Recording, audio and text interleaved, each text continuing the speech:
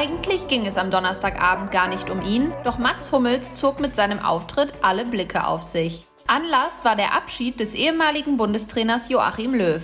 Vor dem WM-Qualifikationsspiel wurde er von tausenden Fans und von den Ex-Weltmeistern gebührend gefeiert.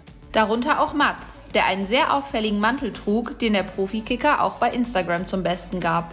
Mit dem großen grün-beigen Karo-Muster wurde er zum absoluten Hingucker. Sogar seine Kollegen kommentierten Mats Outfit. Lothar Matthäus erklärte gegenüber dem Sender RTL, der Mantel von Mats Hummels. Ich würde den nicht tragen. Gewagt. Thomas Müller verriet, wer sich außerdem über Mats Auftritt amüsierte. Der Poldi hat sich ein bisschen über seinen Mantel lustig gemacht. Und dann war der Mats so leicht unsicher und hat gefragt, ob das so gut ist. Da muss Mats ein bisschen cooler werden.